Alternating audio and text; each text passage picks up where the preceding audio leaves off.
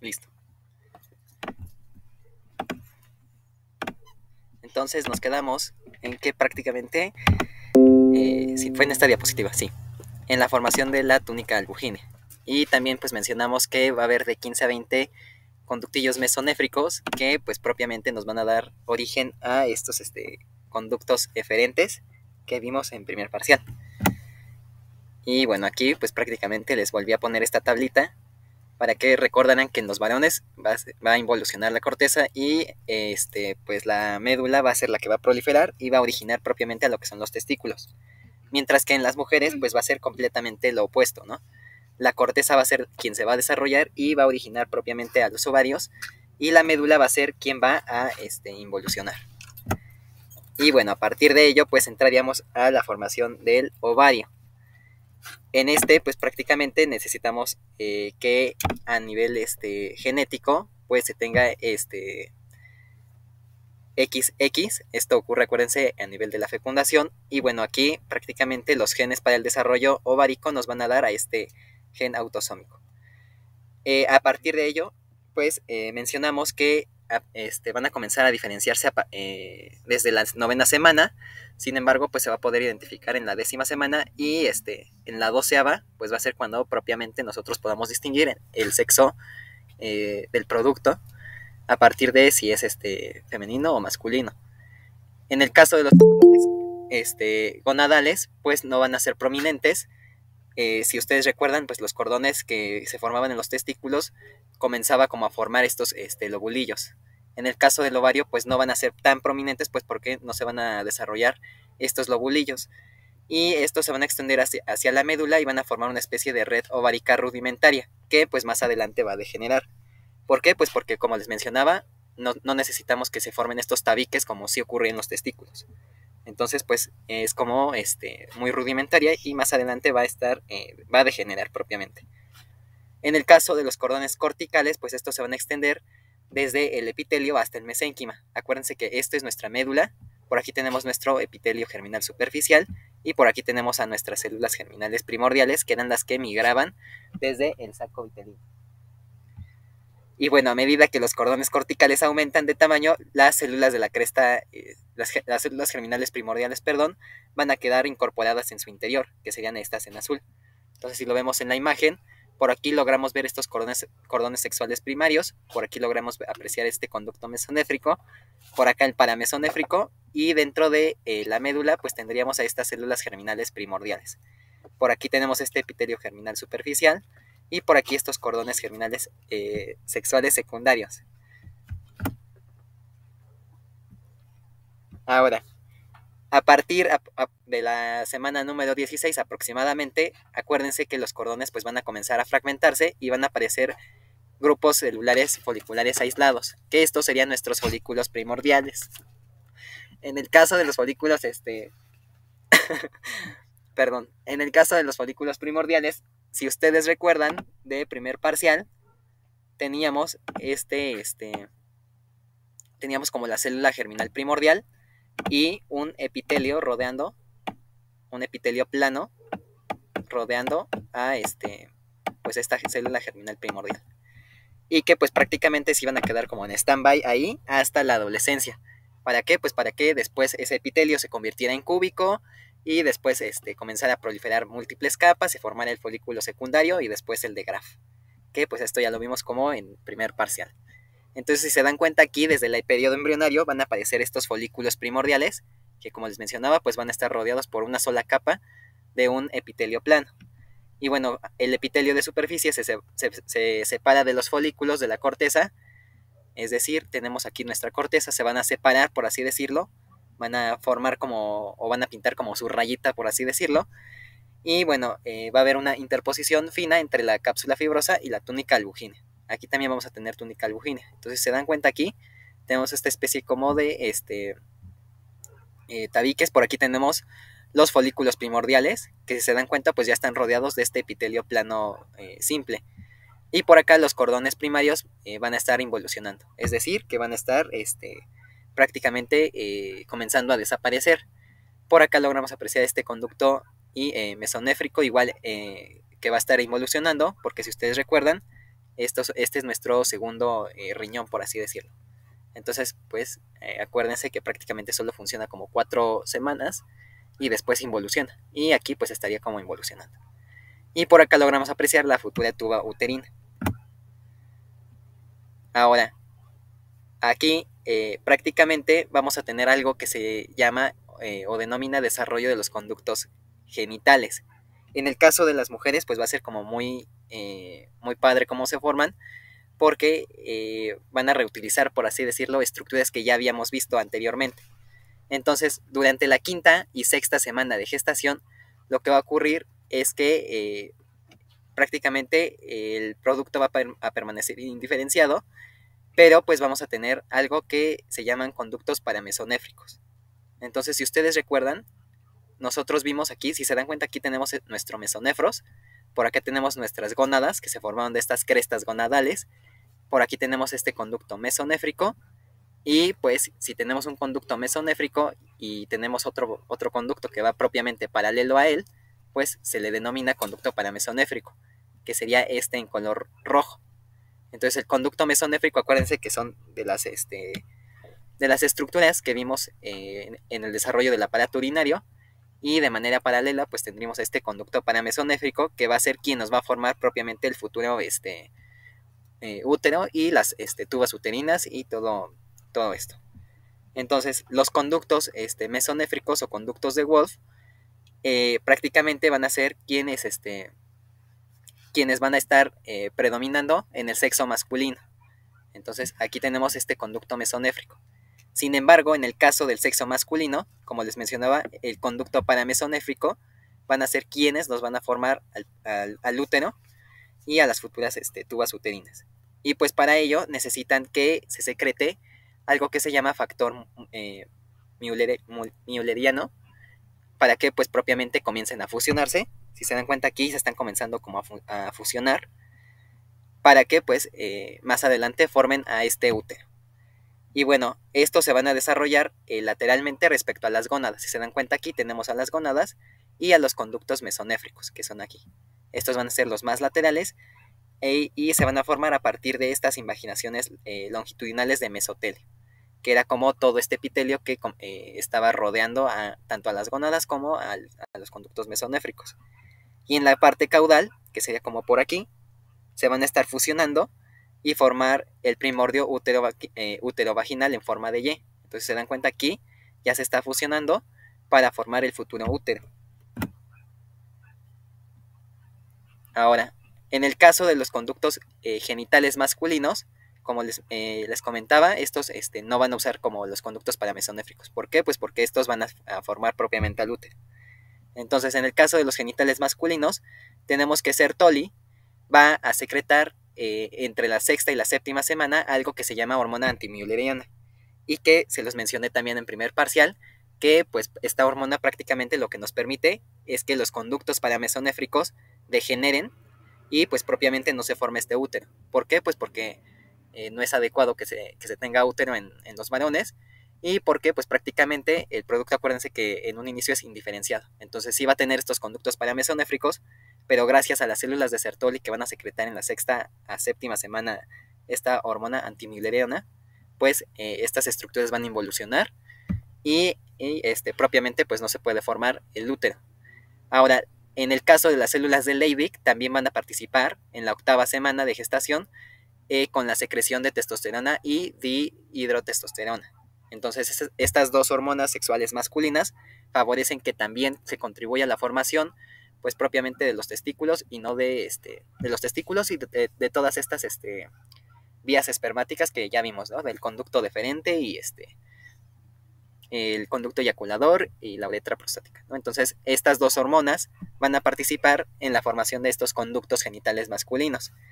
Ahora, bajo la influencia de la testosterona, pues prácticamente la parte proximal de la este de todo de todas estas estructuras pues se va a desarrollar el epivívimo. Acuérdense que prácticamente el epivívimo tenía como su cabeza y su cola. Entonces, si ustedes recuerdan, el epivívimo era como una, este, una estructura pues tubular que únicamente se enrollaba en sí mismo y formaba en conjunto pues el epidídimo que se iba a encontrar en la parte eh, posterior del testículo. Entonces esto permite que esas este, mismas estructuras comiencen como a condensarse y a formarse eh, parte de lo que sería el epidídimo. Y distalmente al epidídimo, pues se va a adquirir una capa gruesa de músculo liso y que se va a convertir en este conducto deferente. Entonces aquí se dan cuenta, tenemos a las células de Leydig secretando la testosterona, la dihidrotestosterona, y que pues a partir de ello se formen como todas estas vías que vimos en primer este, parcial, que era la, este, los eh, túbulos seminíferos este, contorneados, túbulos seminíferos rectos, luego la red de testis, eh, conductos eferentes, eh, luego este, el epidídimo, los conductos deferentes, el conducto eyaculador y que para que finalmente pues pasara la uretra prostática, la uretra membranosa y la uretra este, balánica o peneana o esponjosa también. Entonces esto pues si se dan cuenta ya lo vimos todo en primer parcial. Ahora en el extremo caudal también van a aparecer eh, evaginaciones laterales que se van a convertir en las vesículas seminales. Entonces se dan cuenta aquí tenemos como nuestras vías este, por aquí tenemos este, nuestros conductos mesonéfricos, que es CM. Entonces los conductos mesonéfricos van a ser quienes van a formar como todas estas vías. Entonces se dan cuenta aquí, tenemos parte de lo que es la próstata, por aquí tenemos nuestro seno urogenital, por aquí tenemos el conducto eyaculador, que, que si recuerdan, se formaba del el conducto de la vesícula seminal con parte del conducto deferente que venía por acá. Entonces por acá si seguimos todo esto, estos son nuestros conductos deferentes que se formaron de estos conductos este, mesonéfricos. Y por acá, si se dan cuenta, ya está este, comenzando como a torcerse, a condensarse, por así decirlo, para formar el futuro epidídimo. Por aquí, si se dan cuenta, tenemos ya estas, este, eh, estos 15 a 20 conductos eferentes. Y por acá, pues tenemos ya los túbulos seminíferos y este, la formación de estos tabiques. Entonces, si se dan cuenta, pues ya tiene como un poco más de sentido todo lo que vimos en primer parcial. Y bueno, en el caso eh, de la pared del conducto mesonéfrico, esta tiene que quedar entre el conducto de esta glándula y la uretra para convertirse en el, en el eyaculador. Aquí. Entonces aquí la vesícula seminal se junta con el deferente y forma el conducto eyaculador.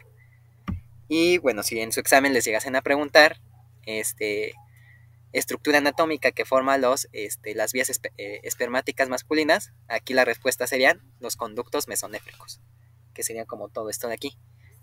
En el caso de las mujeres, si este, les llegase a preguntar en la academia tipo este, con, eh, estructura anatómica que contribuye a la formación de las, este, del útero y de las trompas uterinas, pues aquí sería el conducto paramesonéfrico. Si se dan cuenta aquí, como vimos eh, hace rato, aquí las células de Sertoli ya están secretando este factor antimülleriano y el conducto paramesonéfrico ya está involucionando. ¿Para qué? Pues para que no se forme el útero. Ahora, la próstata eh, también eh, es importante mencionar como su este, desarrollo. Lo que va a ocurrir es que en la parte prostática de la uretra van a aparecer múltiples evaginaciones. Háganse, hagan de cuenta que tenemos como aquí todo el conducto este, mesonéfrico, tenemos algo así, y van a comenzar a aparecer este, evaginaciones, evaginaciones endodérmicas que pues van a favorecer la formación de esta uretra. Entonces aparecen estas eh, evaginaciones y van a crecer hacia lo que es parte del mesénquima eh, adyacente, es decir, que se encuentra muy cerca de él. Y bueno, una vez que ocurre como todo esto, el epitelio glandular de la próstata se va a diferenciar a partir de estas células endodérmicas que, que vaginaron, que serían estas de aquí. Y bueno, el mesénquima que estaba como rodeando de manera cerca, eh, se va a diferenciar para la formación del estroma denso y del músculo liso de la próstata es decir, para darle como la estructura. Entonces por aquí, si lo vemos en la imagen, tenemos aquí la porción este, del endodermo, van a comenzar a evaginar y a medida que vaginan, si se dan cuenta, pues va a estar rodeado como de este mesodermo eh, o mesenquima adyacente. Entonces si le hacemos como un corte a esto, aquí tenemos esta evaginación de endodermo, por aquí tenemos este, la parte prostática de la uretra, entonces comienza como a protruir aquí el endodermo y se va este, a diferenciar en este, eh, en este epitelio glandular. Y rodeando a esto, pues tenemos el mesénquima, que nos va a formar como la estructura propiamente de la próstata. Por acá más adelante, si se dan cuenta, ya tenemos como el, el, estroma, o como el esqueleto, por así decirlo, de la próstata. Y, por aquí pues tenemos la parte prostática de la uretra y todo este epitelio glandular que derivó de endodermo. Y que si se dan cuenta, igual tenemos este común denominador en la cual el epitelio nuevamente derivó de nuestro endodermo. Ahora, las últimas que teníamos son las glándulas bulboretrales. ¿Alguien se acuerda del otro nombre de estas glándulas?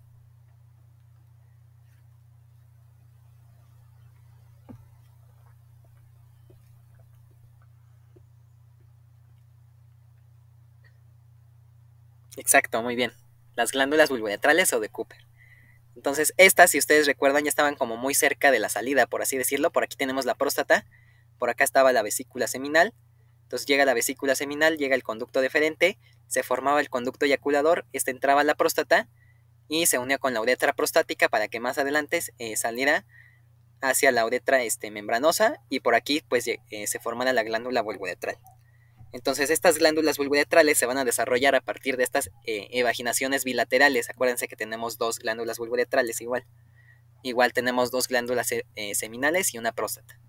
Entonces, igual lo que va a ocurrir va a ser que va a, ocurrir, va, va a desarrollarse una evaginación bilateral, es decir, de ambos lados, que sería esta de aquí, en la parte esponjosa de la uretra. Acuérdense que la parte esponjosa de la uretra prácticamente se encontraba por debajo de la próstata y este era la que tenía contacto propiamente este, con la uretra prostática. Entonces, esto de aquí es la uretra, este, esto, esto de aquí es parte de la uretra este, esponjosa.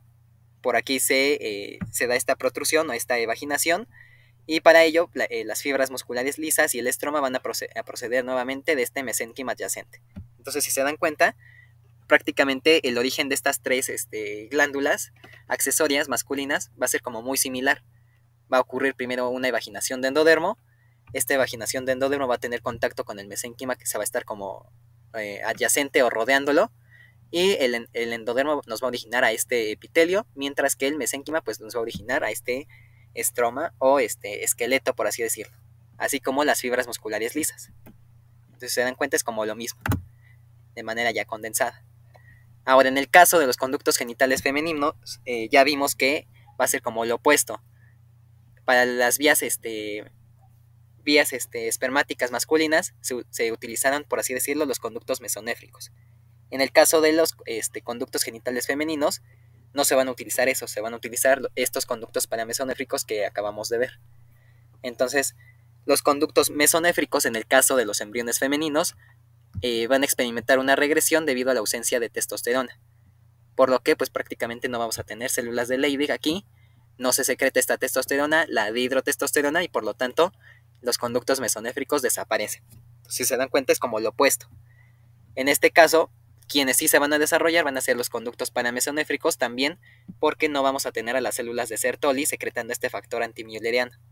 Entonces eso también nos va a favorecer que eh, se formen propiamente estos conductos paramesonéfricos. Y bueno, en el caso de las eh, células este, primordiales, pues se van a desarrollar debido, como les, mencionaba, perdón, este, los conductos paramesonéfricos se van a desarrollar debido a, esta, a la ausencia de esta hormona antimülleriana porque pues prácticamente no tenemos células de Sertoli. Entonces prácticamente durante este periodo fetal no, eh, no, no, se va a depender de la presencia de ovarios o de diversas hormonas, ¿no? Si ustedes recuerdan, prácticamente se quedaban como en stand-by todas estas células germinales primordiales. Y bueno, pues más adelante los estrógenos producidos por los ovarios maternos y por la placenta van a estimular el desarrollo de estas trompas uterinas, el útero y la parte superior de la vagina, que van a ser las estructuras que van a derivar propiamente eh, de estos conductos paramesonéfricos. Y que generalmente sí es pregunta de examen. Entonces, a ver, dejen recuerdo cómo les preguntan o cómo venía la pregunta. Si no mal recuerdo, les ponen una como teoría de el año pasado nos vino así y no teníamos ni la menor idea. Pero este venía algo así como de teoría de la teoría que este algo así como teoría que, formaba eh, parte de la eh, porción superior de la vagina. Y aquí pues la respuesta correcta eran los conductos paramesonéfricos. Y bueno, ya si quieren eh, ser un poco más especialitos, pues también nos va a formar al útero y a las este, tubas o trompas uterinas. Entonces si lo vemos en la imagen, por aquí tenemos los conductos paramesonéfricos. Por aquí tenemos el primordio útero vaginal y que como su nombre lo dice, nos va a originar propiamente al útero y esta porción este, superior de la vagina. Y por acá, si se dan cuenta, pues tenemos eh, el seno genital y el tubérculo de Müller, que vamos a ver ahorita.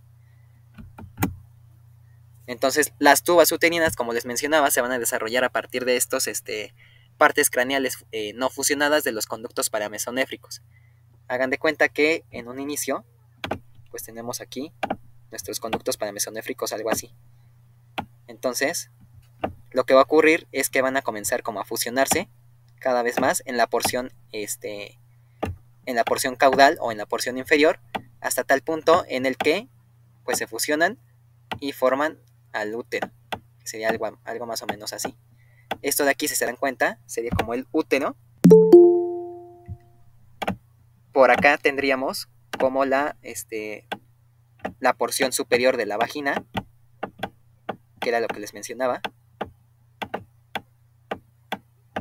Y por acá tenemos esta parte craneal que les mencionó de los este, conductos paramesonéfricos, que van a ser quienes van a formar a las tubas este, uterinas.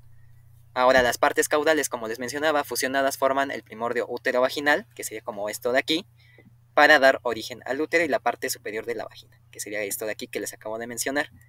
Y la fusión de estos conductos paramesonéfricos también va a generar un pliegue peritoneal que se va a convertir en el ligamento ancho y que desconozco si ya lo vieron en anatomía, me parece que ya deberían más o menos de ir por ahí.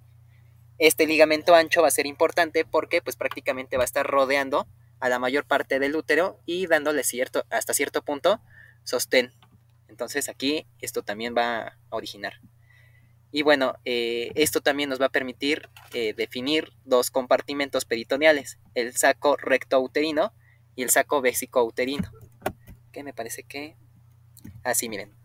Desde un punto eh, anatómico o desde un corte sagital, vamos a tener un saco recto uterino, en la cual prácticamente aquí tenemos el útero, por acá, por acá atrás estaría el recto y aquí se forma como este pliegue de peritoneo que les mencionaba, que nos va a formar este saco este, rectouterino. Esto de aquí se forma este pliegue de peritoneo y este sería el saco rectouterino. Y que como su nombre lo dice, va a ser como una, este, pues sí, como un, una bolsa, por así decirlo, del mismo peritoneo para separar al recto del útero. Y que si ustedes recuerdan, este, cuando vimos placenta percreta, mencionábamos que en ocasiones podía llegar a penetrar esta placenta percreta hasta el recto. Se dan cuenta, igual aquí ya tiene como un poco más de sentido el por qué puede llegar a penetrar el recto. Y tendríamos por acá adelante este otro saco uterino que va a estar por delante de lo, lo, que es el útero y por detrás de la vejiga, y que como su nombre lo dice, va a ser este pliegue de peritoneo entre la vejiga y el, el útero.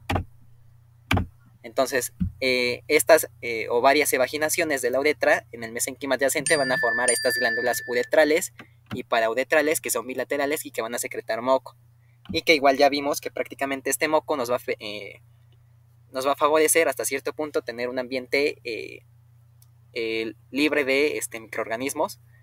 Va a ser como una especie de barrera también para los espermatozoides cuando no es este propiamente pues periodo fértil.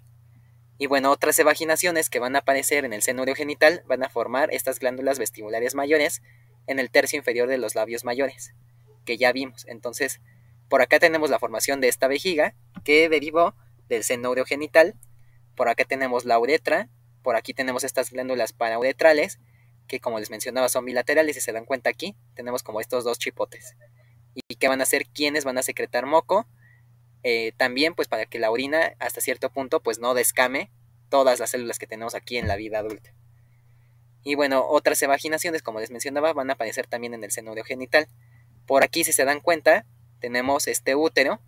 Y aquí, si se, si se dan cuenta, prácticamente las trompas uterinas sí están eh, mirando hacia atrás, como les mencioné en primer parcial. Que generalmente, pues, la mayoría de los estudiantes, y yo me incluyo, pensábamos que el útero tenía como las tubas uterinas en el mismo plano, y no es así. Anatómicamente, prácticamente eh, las tubas o trompas uterinas van a estar eh, hasta cierto punto desplazadas hacia atrás y hacia arriba. Y que si se dan cuenta aquí en esta imagen, sí se cumple como esa premisa. Por aquí tenemos el útero. Eh, y por acá abajo pues ya tenemos como este, el tercio superior de la vagina y por acá algo que se llama placa vaginal y que vamos a ver ahorita. Hasta aquí, ¿alguna duda con, con las tubas o el útero? ¿O todo bien? Ok. Bueno, entonces vamos con el desarrollo de la, de la vagina.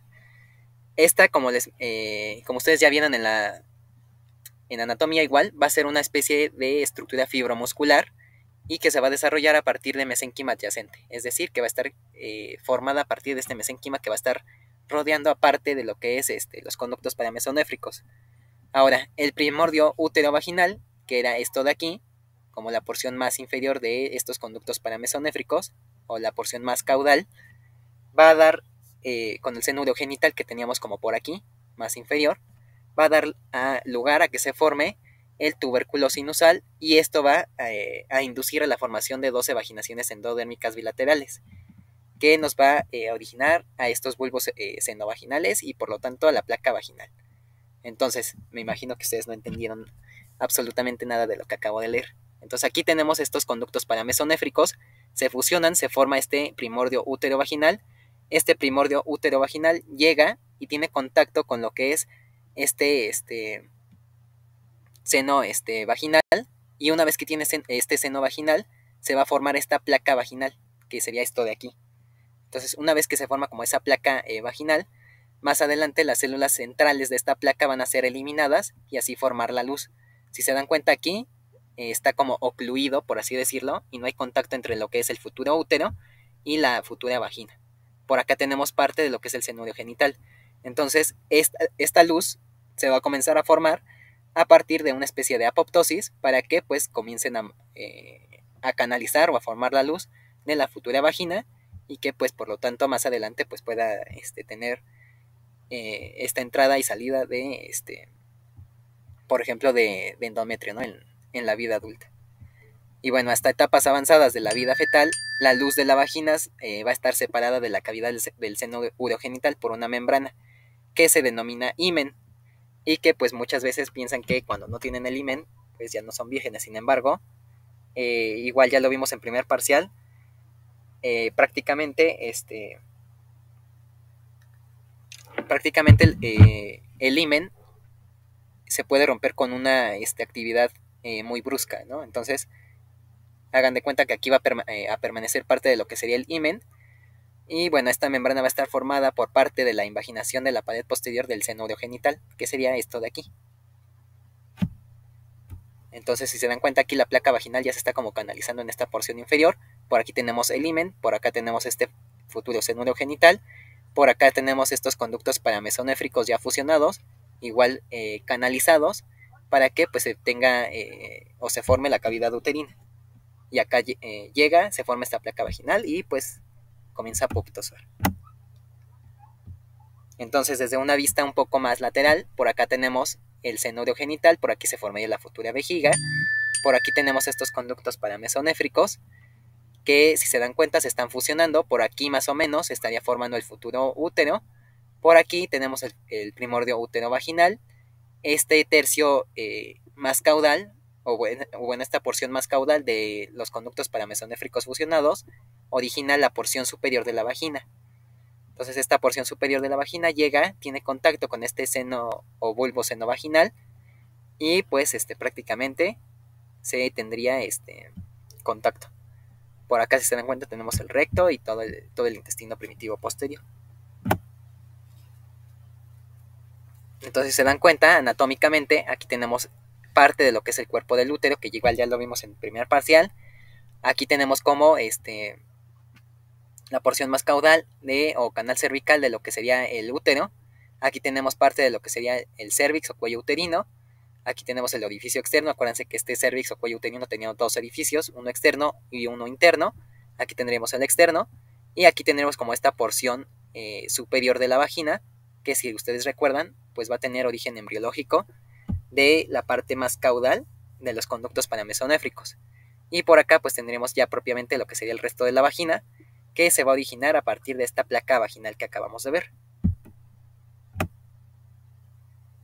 Igual, este, en ocasiones, cuando por ejemplo los conductos paramesonéfricos que si ustedes recuerdan, este, teníamos como una estructura más o menos así. Algo así en un inicio tenemos y que más adelante se fusionan, algo así. En ocasiones, si no se fusionan de manera adecuada, lo que puede ocurrir es que puede eh, permanecer una especie de septo. Si este septo es como muy prominente o por ejemplo que esté como más hacia abajo, debido a que no se fusionaron bien estos conductos eh, lo que puede ocurrir es que, por ejemplo, esta mujer, eh, cuando esté como en edad fértil, pues eh, lo que puede ocurrir es que prácticamente eh, el producto no va a poder desarrollarse debido a que este septo le va a estar como estorbando, por así decirlo.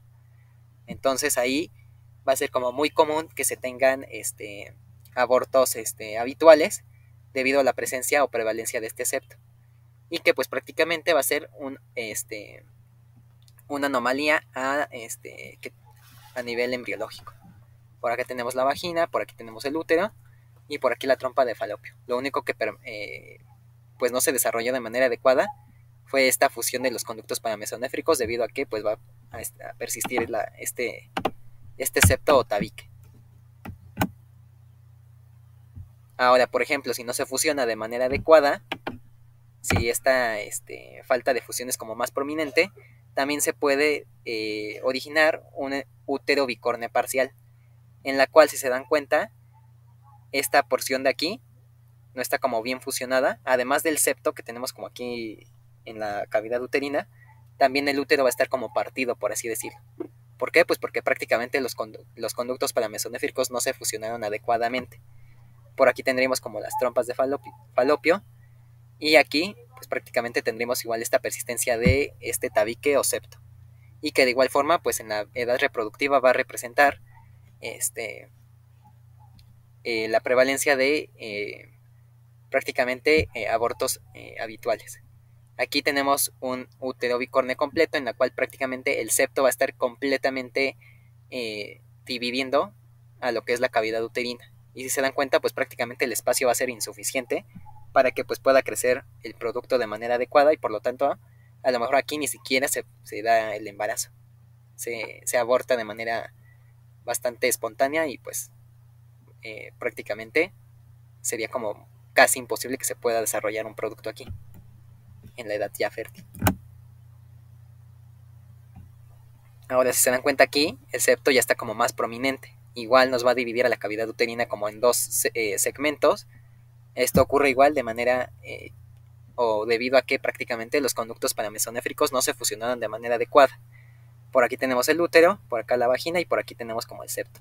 Entonces el producto igual no va a poder crecer, le va a estorbar el septo y por lo tanto va a ser este, como muy común la presencia de abortos, este, abortos habituales.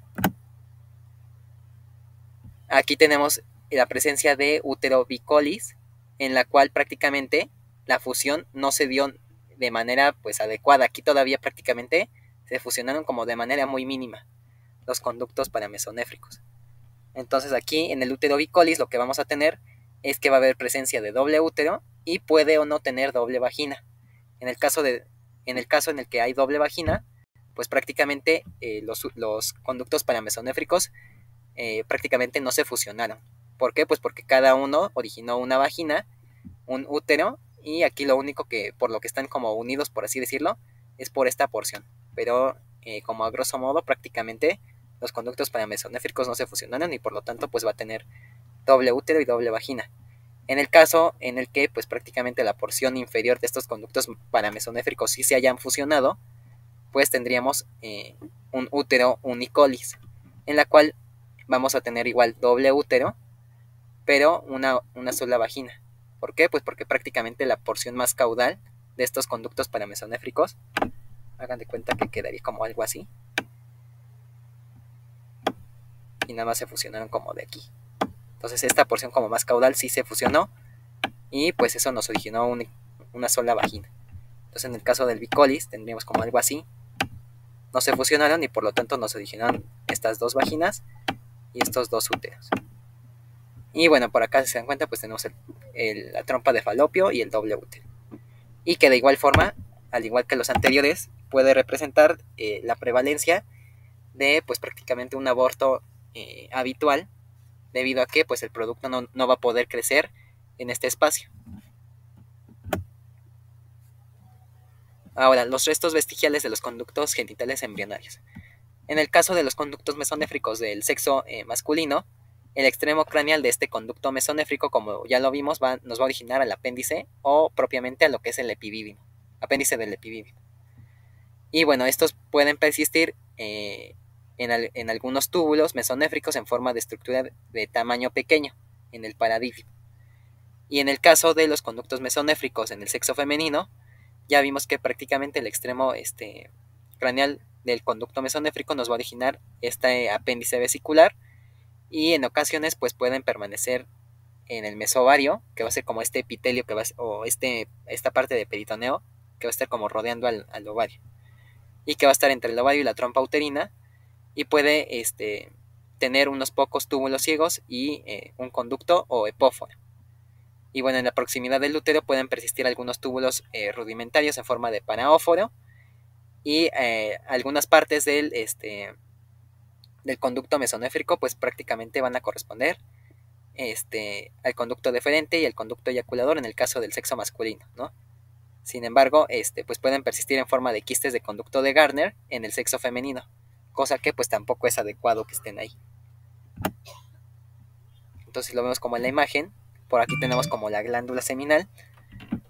En el caso del sexo masculino tenemos la glándula, la glándula seminal, igual es como lo mismo, conducto deferente, conducto eyaculador, llega la próstata, penetra, se forma esta uretra prostática, después sale, aquí tenemos la glándula vulvuretral o de Cooper y por acá tendríamos la última porción de la uretra. Y si se dan cuenta aquí, parte de lo que sería este conducto panamesonéfrico que tendríamos en un inicio, esto degeneró ¿Por qué? Pues porque prácticamente en el sexo masculino quienes van a originar estas vías o conductos espermáticos van a ser estos conductos mesonéfricos en color rosa que tenemos aquí. Y que si se dan cuenta, pues aquí tenemos el epidídimo, el conducto deferente y todo esto que ya vimos. Ahora, en el caso del sexo femenino va a ser completamente lo opuesto. Y, igual ya vimos. Eh, quienes van a originar o quienes van a, permanecer van a ser los conductos paramesonéfricos. Por aquí tenemos como la tuba uterina, esto de aquí sería este el, útero, la porción este, superior de la vagina. Aquí tenemos como esta apoptosis que les mencionaba. Por aquí tenemos el himen, en la cual prácticamente este primordio útero vaginal, cuando entraba en contacto con lo que era el seno vaginal acá abajo, seno genital, perdón, lo que ocurría es que permanecía esta como membrana en forma de himen.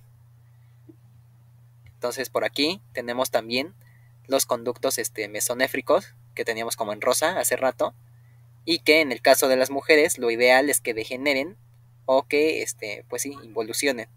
Sin embargo, si no se da de manera adecuada, lo que puede ocurrir es que se pueden formar estos quistes del conducto de Garner, que les mencionaba hace rato. Entonces aquí a lo mejor la involución no se, no se dio de manera adecuada y se forman estos eh, quistes del conducto de Garner, que les mencionaba hace rato. Y por acá tenemos el eófono que les mencionaba también, si se dan cuenta, el eófono, en el caso de las mujeres, puede persistir debido a esta presencia de conductos mesonéfricos. Por acá tenemos el ligamento ovárico y por aquí este, el ovario.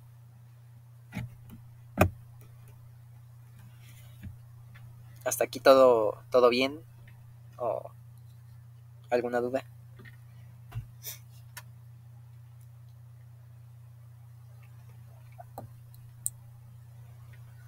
Ok. Bueno, entonces vamos al desarrollo de los genitales externos. Ya es como de lo último de aquí de genital. Este no es, bueno, considero yo no es tan difícil, casi no les preguntan, pero está como muy pesado porque es mucha información. Entonces vamos con los genitales externos. En el caso de los caracteres sexuales, pues estos van a comenzar a distinguirse durante la novena semana. Sin embargo, pues los genitales externos no van a estar completamente diferenciados hasta la semana 12. Y que como les mencionaba, generalmente es pregunta de examen ya sea de primer eh, parcial o de tercer parcial. Entonces, al inicio del cuarto mes, la proliferación del mesenquima va a producir a este tubérculo genital, que va a ser el primorio del pene o del clítoris, y que, como les mencionaba en un inicio, muchas veces sus doctores les manejan que eh, todos en algún momento fueron este, niñas, ¿no? Sin embargo, pues ya vimos que eso es incorrecto, porque durante la fecundación se va a determinar desde un inicio el sexo, ¿no? Si es XX o XY. Entonces, en el caso del XY, lo, único que, va a ocurrir es que este tubérculo genital eh, va a proliferar hasta tal punto en el cual eh, pues va a originar al pene. Y bueno, este va a aumentar de longitud y va a formar el falo primitivo para que pues más adelante forme al pene. Y bueno, al poco tiempo se van a desarrollar a cada lado de la membrana cloacal las tumefacciones labioscrotales y los pliegues urogenitales, que dependiendo del sexo, pues estas este, tumefacciones labioscrotales pueden favorecer la formación del escroto o bien de este, los labios, ¿no? En, eh, de, la vulva en el caso de las chicas. Y la membrana urogenital pues se va a localizar en el suero de una hendidura media en el surco uretral y va a estar limitado por estos pliegues uretrales. Entonces si lo vemos como desde una eh, vista un poco más esquemática, les mencionaba que en un inicio estos, estos este, genitales externos vamos a tener algo que se llama o se denomina tubérculo genital, que sería esto de en rosa. Este tubérculo genital va a comenzar a proliferar, va a aumentar de longitud y nos originaría este falo primitivo. Este falo primitivo pues puede este, originarnos a lo que es el clítoris o bien a lo que es el pene. En el caso de los pliegues uretrales, si se dan cuenta, aquí tenemos este, estos pliegues eh, urogenitales o uretrales, en color rosa un poco más claro. Por aquí tenemos esta membrana cloacal y rodeando a esto tenemos estas tumefacciones labioescrotales, que como les mencionaba hace rato, pues pueden formar propiamente a lo que es el escroto o también nos puede formar a estos labios de la, de la vulva. Entonces por aquí, si se dan cuenta, prácticamente la membrana urogenital ya se vio como de manera más estrecha. Por acá tenemos el tapón epitelial en el sitio del ano. Acuérdense que teníamos como este tapón en un inicio y que después este, pues se canalizaba. Y por acá tenemos propiamente lo que es este falo primitivo y este, las tumefacciones labioscrotales. Ahora, este desarrollo de los genitales externos masculinos. Vamos con los, con los chicos, ¿no? El primero. A medida que el falo va a aumentar de tamaño y de longitud, va a formar el pene, como les mencionaba hace rato. Y los pliegues, los pliegues uretrales van a constituir a las paredes laterales del surco uretral en la superficie ventral del pene. Ahora, estos pliegues uretrales se tienen que fusionar entre sí eh, a lo largo de toda la superficie ventral para formar esta uretra esponjosa que como ya vimos, pues va a ser como la uretra que va a estar rodeada de este parte de lo que es el cuerpo esponjoso y los cuerpos cavernosos. Entonces tiene que estar rodeado como de todo y estos eh, pliegues tienen que fusionarse. Ahorita los vamos a ver para que les quede un poco más claro. Ahora el ectodermo de superficie, acuérdense que tiene que fusionarse en el plano medio del pene para formar el rafé del pene. Este rafé lo que nos permite es formar como una barrera entre ambos testículos para que pues no se estén este, molestando unos, con otros y por lo tanto pues también no, este, no, se pueda, no se pueden llegar a torcer entre sí mismos. Entonces por eso tiene que formarse este rafe del pene. Y bueno, los cuerpos cavernosos y el cuerpo esponjoso eh, del pene se van a desarrollar a partir del mesénquima del falo.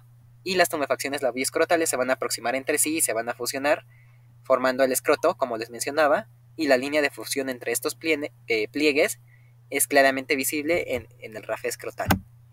Entonces, de todo lo que acabamos de leer, vamos a verlo en la imagen. Tenemos aquí estos pliegues que les mencionaba, por aquí tenemos esta placa uretral. Estos son los pliegues que les mencionaba hace rato que tienen que fusionarse. ¿Para qué? Pues para que propiamente la, futura uretra quede eh, contenida o rodeada de lo que son este, los cuerpos cavernosos y el cuerpo esponjoso. Entonces, si se dan cuenta, se forma en un inicio como una especie de surco, que se le va a denominar surco uretral.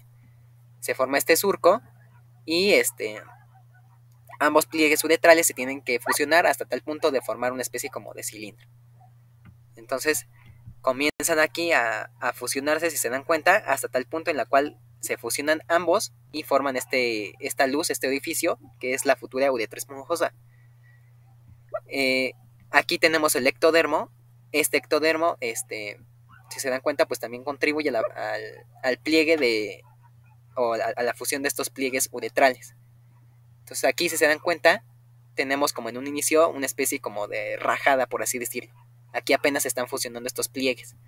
Por acá tenemos, o, teníamos lo que era este, el falo primitivo, el cual comenzó a proliferar. Y por aquí, si se dan cuenta, pues ya tenemos como el glande del pene en desarrollo. En el caso de las chicas, pues va a desarrollarse el glande del, del clítoris, y bueno, aquí prácticamente tenemos más, eh, más atrás lo que es el perine. Y aquí tenemos estas tumefacciones labioscrotales. que van a comenzar igual a fusionarse para formar el futuro escroto. Si se dan cuenta aquí no están como muy bien fusionadas. En cambio aquí los surcos, si se dan cuenta, ya está como casi todo muy fusionado. Aquí a este nivel ya está fusionado este, ambos pliegues uretrales.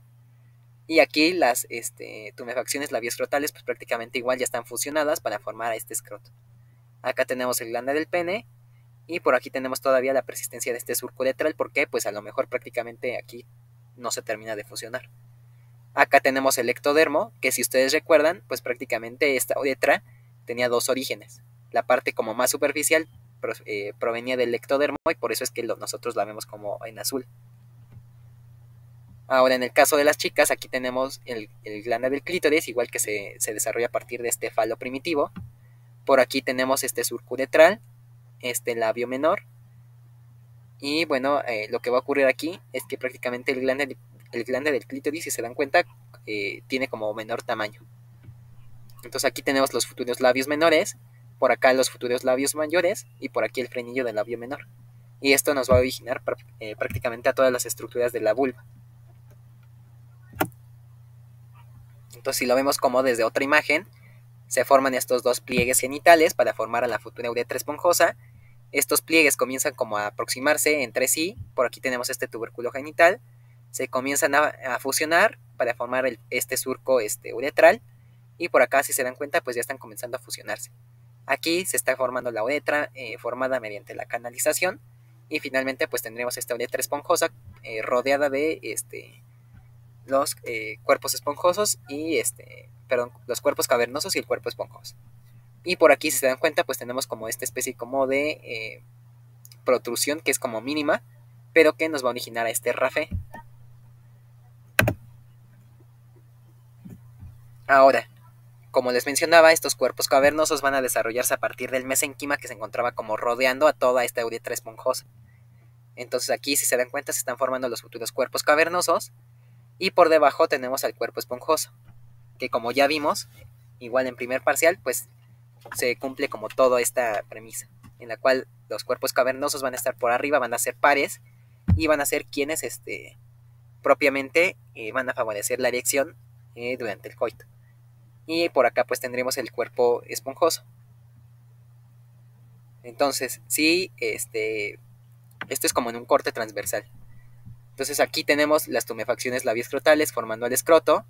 Por acá tenemos el orificio uretral externo, que acuérdense que esta uretra pues prácticamente tiene origen del ectodermo, que ya vimos.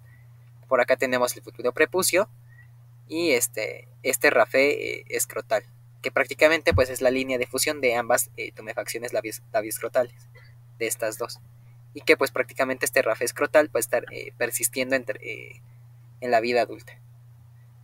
Y en el caso de las chicas, pues tenemos por aquí el clítoris, acá este el himen, por aquí el orificio vaginal y por aquí este parte de lo que es el vestíbulo de la vagina, por aquí la comisura labial posterior, por acá si se dan cuenta ya tenemos como el monte del pubis y por acá pues todos este labios menores y mayores. Ahora, si por alguna extraña razón ambos pliegues este, uretrales no se llegasen a fusionar de manera adecuada, lo que puede ocurrir es la presencia de algo que se denomina hipospadias. Entonces lo que va a ocurrir aquí es que prácticamente los pliegues uretrales no se fusionaron entre sí, no se aproximaron y pues prácticamente la uretra no se formó de manera adecuada. Por lo que pues prácticamente, eh, si se dan cuenta aquí, la uretra no se formó, casi. Entonces aquí prácticamente lo que va a ocurrir es que eh, pues eh, tenemos que actuar de manera quirúrgica para que pues se pueda formar adecuadamente lo que es la uretra.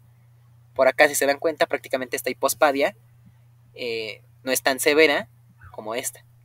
Igual lo que ocurre es que prácticamente los este, pliegues uretrales no se fusionaron de manera adecuada y a lo mejor a lo mejor aquí sí se fusionaron, pero acá no.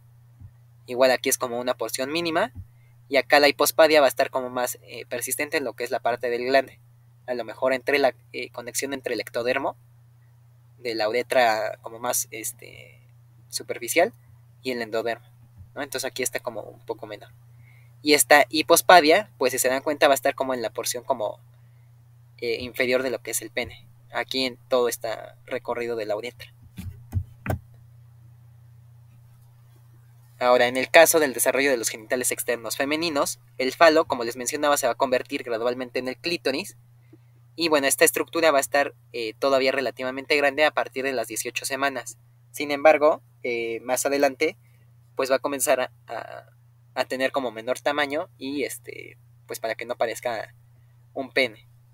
Y bueno, los pliegues uretrales no se van a fusionar, excepto en, en su parte posterior en la cual pues se van a unir formando el frenillo de los labios eh, menores. Y las partes no fusionadas de los pliegues urogenitales van a formar estos labios menores. En el caso de los pliegues labioscrotales, eh, se van a fusionar en la parte posterior y van a, generar una comisura labial posterior. Y en la parte anterior van a eh, generar propiamente esta comisura labial anterior y parte de lo que es el monte del pubis. Y los pliegues labioscrotales en su mayoría no se van a fusionar, pero eh, se van a convertir en dos grandes pliegues cutáneos que serían los labios mayores. Entonces, si lo vemos como en la imagen, aquí tenemos este surco uretral, tenemos aquí la placa uretral, esto que sería ectodermo, y rodeando a este surco uretral tendríamos parte de lo que es el mesenquima. Entonces, en el caso de las chicas, por acá, si se dan cuenta, prácticamente lo que va a ocurrir es que no se van a fusionar de manera adecuada los surcos uretrales. ¿Para qué? Pues para que propiamente se pueda tener eh, esta morfología de la vagina. Por aquí, si se dan cuenta, la, no fusión de estos eh, pliegues, o eh, pliegues uretrales favorece que se forme este surco uretral. Y a los lados de este surco uretral, pues tendríamos estos labios menores, que sería como esto de aquí. Ahora, igual si se dan cuenta aquí, no se fusionaron los pliegues uretrales. Aquí tenemos ya lo que sería el labio menor, rodeando estos pliegues uretrales, y las tumefacciones labioscrotales nos originarían propiamente lo que son los labios mayores. Por aquí teníamos el, el glande del clítoris y más acá tendríamos como el monte del pubis.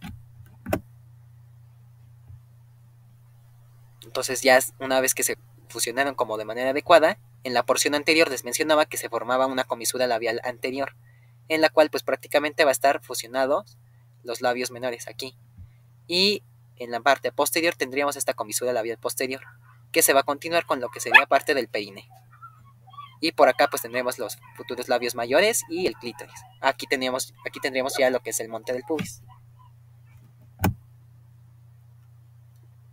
Ahora, en el caso de los varones, ya vimos prácticamente cómo se desarrollan los testículos, vimos que eh, se van a desarrollar a partir de esta cresta genital y este, prácticamente eh, llegan las células germinales primitivas, se forman como estos tabiques y eh, los conductos mesonéfricos favorecen la formación del conducto deferente y todas estas vías espermáticas.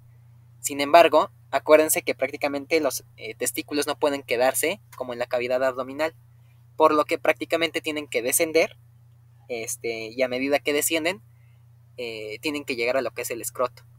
Entonces, si no descienden, eh, lo que puede ocurrir es que en la, edad, adulta prácticamente esos testículos van a ser eh, infértiles debido a que prácticamente las células eh, germinales, acuérdense que necesitan tener como 1 o 2 grados menor a lo que manejamos este, como temperatura normal.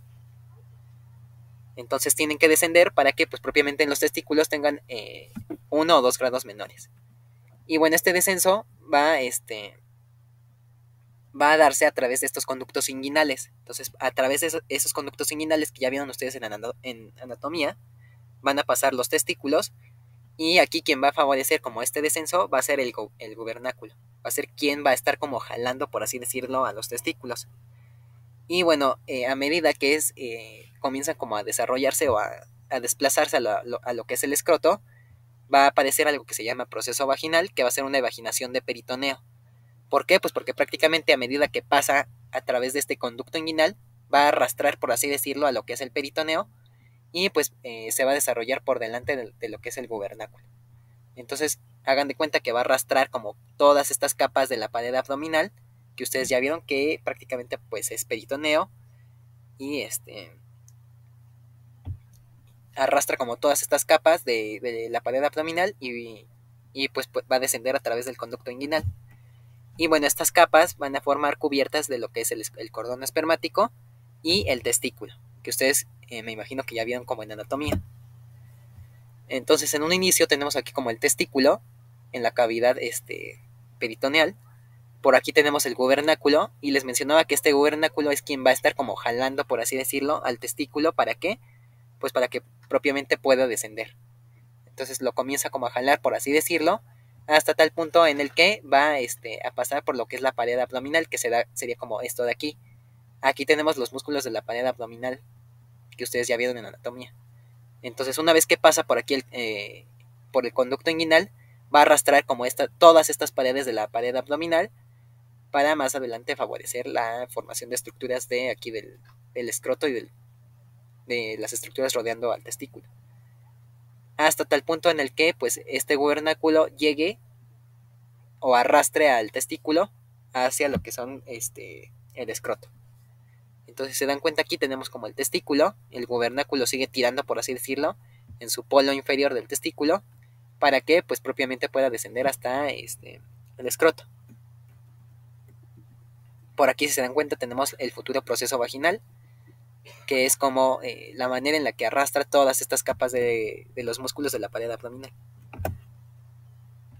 Entonces comienza como a descender aquí el testículo, jala todas estas capas de, los músculos de la pared abdominal, pasa por lo que es el conducto inguinal y este eh, gubernáculo pues sigue como tirando. Aquí tenemos como este proceso vaginal y una vez que pasa por este conducto inguinal, aquí tenemos como eh, lo que es el conducto deferente, aquí tenemos el testículo Aquí tenemos el gubernáculo, que era quien estaba jalando o tirando al testículo, por así decirlo. Y eh, pues para que finalmente pues llegue a lo que es el, escroto. Entonces aquí si se dan cuenta, jaló como todas las capas de, la, de los músculos de la pared abdominal. Si se dan cuenta que esta imagen se ve como muy padre. Porque nosotros logramos apreciar todas este, todos estos músculos de la pared este, los músculos de la pared abdominal de, pues sí, propiamente, se jalaron, se vino con, todo el testículo. Y una vez que se forma o se fusiona, por así decirlo, aquí tendríamos lo que es el cordón espermático. Por acá se continuaría con lo que es este el conducto inguinal, entraría y pues prácticamente ahí tendríamos como todas estas vías este, espermáticas. Aquí, si se dan cuenta, tenemos esta túnica vaginal, la fascia espermática interna, eh, la fascia y los músculos cremastéricos y la fascia espermática interna. A ver. Aquí nos este aquí les falta como una imagen. En Lachman se ve como muy padre como este qué estructuras desarrollan. Si quieren ahorita se las paso.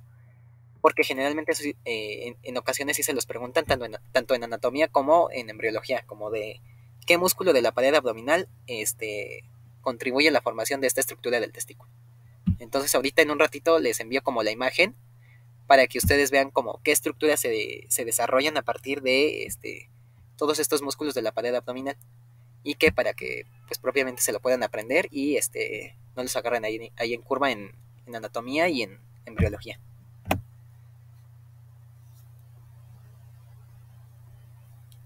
Ahora, el descenso testicular eh, prácticamente lo que va a ocurrir es que van a aumentar de tamaño los testículos y se va a atrofiar lo que es el mesonefros. Acuérdense que es como eh, parte de lo que son los, los este, riñones, ¿no? Entonces también va a ocurrir una atrofia de lo que son los conductos paramesonéfricos. ¿Por qué? Pues porque no, necesitamos la formación de útero. Y porque prácticamente Sertoli este, secretó el factor antimileriano para que pues, eh, los conductos paramesonéfricos eh, degeneraran. Y bueno, esto nos va a permitir que los testículos puedan desplazarse a través del abdomen. Ahora también va a haber un aumento del proceso vaginal, que ya vimos de dónde se forma, prácticamente de como de las, los músculos de la pared abdominal, que van a guiar propiamente al testículo a través del conducto inguinal hasta el escroto, y que en conjunto con el gubernáculo que ya vimos, pues va a favorecer este descenso.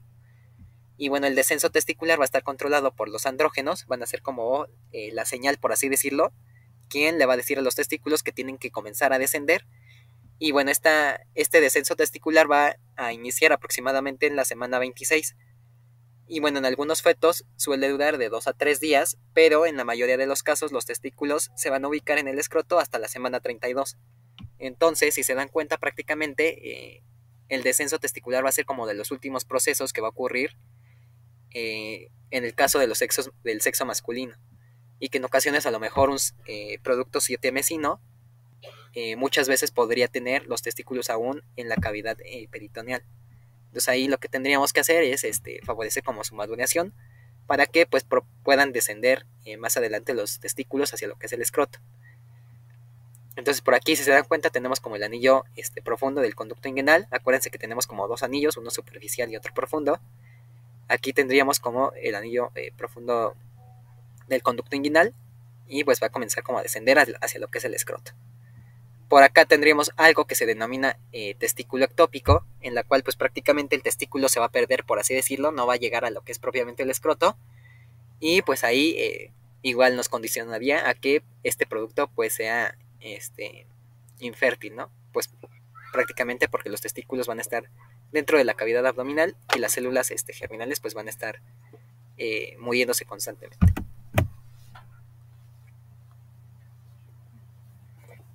¿Hasta aquí alguna duda o todo bien?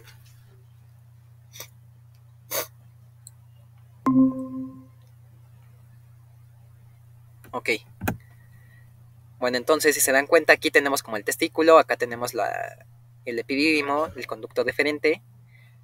Y por aquí, si se dan cuenta, tenemos como este proceso eh, vaginal de manera obliterada. Por aquí tenemos esta túnica vaginal y aquí tenemos el gubernáculo, que fue quien propiamente favoreció que el testículo comiera eh, comenzara perdón, a descender a partir de este, pues las señales o de la producción de estos andrógenos. Por aquí tenemos este, esta intestinal, este proceso vaginal y por aquí tenemos el escroto.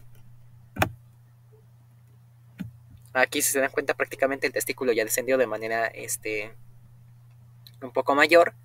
En ocasiones suele presentarse algo que se llama hidrocele, en la cual prácticamente eh, va a estar presente en el cordón espermático esto debido a que pues prácticamente eh, se va a formar como una especie como de quiste, por así decirlo. Y por lo tanto pues se le, denomina, se le denominaría hidrocele del cordón espermático.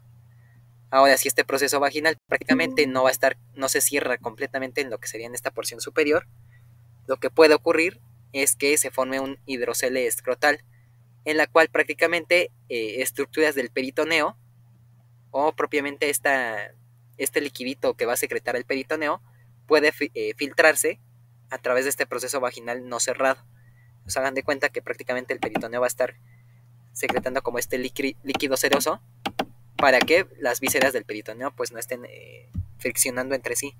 Sin embargo, si el proceso vaginal no oblitera o no se fusiona correctamente, lo que puede ocurrir es que este líquido va a penetrar propiamente esta túnica vaginal no este o este proceso vaginal no cerrado eh, de manera adecuada y por lo tanto pues va a comenzar como a filtrarse hasta tal punto en el que pues formaría este hidrocel escrotal.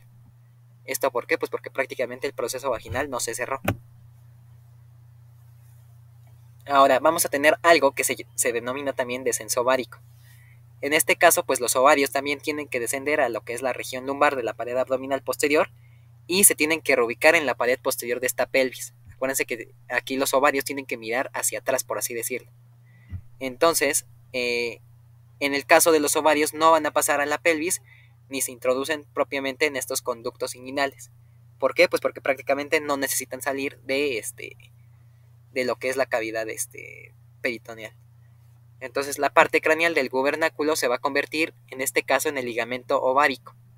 Por aquí tenemos propiamente este eh, ligamento propio del ovario, aquí tenemos el ovario, el ovario y por aquí tenemos lo que es la tuba. Esta parte craneal del ligamento ovárico se convierte en propiamente en este ligamento ovárico y su parte caudal va a formar propiamente el ligamento redondo del útero. Y pues eh, prácticamente aquí tendremos lo que es la vagina, aquí el útero, aquí tendremos lo que es este la vejiga, por aquí se formaría como nuestro este fondo de saco uterino por acá atrás el fondo de saco recto uterino, aquí tendremos la vagina, este y por aquí propiamente el ligamento propio del ovario. Este descenso ovárico generalmente no se los preguntan, no es como tan importante como si ocurriría en los testículos, que sí es importante que desciendan propiamente a través de todo este, pues el conducto inguinal. Y pues terminamos ahora sí por fin eh, lo que es este, la formación de los este, genitales femeninos. No sé si alguien tenga como alguna duda o todo bien.